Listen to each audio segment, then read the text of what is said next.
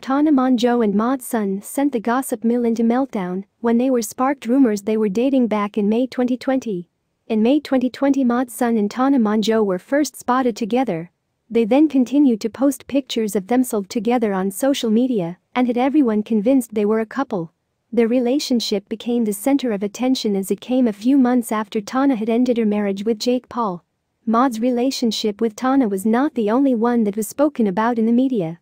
There is a long list of his ex-girlfriends, let's look at rappers' girlfriends, and dating history Mod Sun has had his name linked with many celebrities.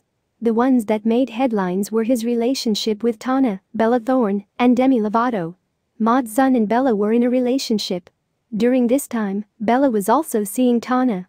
While Bella and Tana went on to have a relationship for nearly a year, things ended with Mod a couple of months after the two started dating. It is unclear why the pair broke up. Mod and Demi gave rise to dating rumors after pictures of them getting cozy came to light. However, these rumors were soon put down after Demi's team revealed that the pair are just good friends and there is nothing going on between the two.